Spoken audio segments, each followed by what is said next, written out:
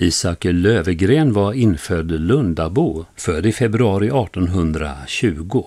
I tonåren skickade föräldrarna honom först i lära hos en guldsmed i Lund men då man efterhand kom fram till att den ur moralisk synpunkt inte var någon lämplig läromästare för pojken satte föräldrarna honom istället i krukmakarlära.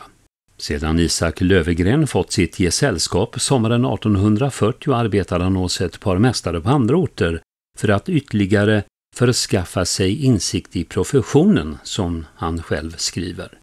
Den 27 februari 1843 inlämnade han till magistratet i Lund sin burskapsansökan för utövande av kakelugns- och krukmakarprofessionen i Lund.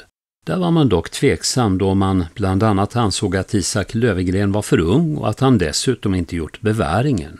Varpå Lövgren svarade att han inte kunde förstå hur en ej fullgjord militärtjänst skulle kunna påverka honom från att vara en skicklig kakelugnsmakare. Man gav med sig och sommaren 1843 erhöll han burskap i staden och i slutet av augusti samma år är hans mästarbrev daterat och undertecknat av ämbetets ålderman och bisittare. Lövegren startade sin verksamhet i gården nummer 183 på hörnet mellan nuvarande Råbygatan och Östra Mårtensgatan. I verkstaden hade han omväxlande en, två eller tre gesäller samt en eller två elever.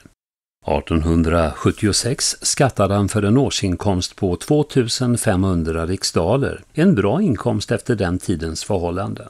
Under sina senare år hade Lövegren en glas- och porslinsaffär på Fiskaregatan.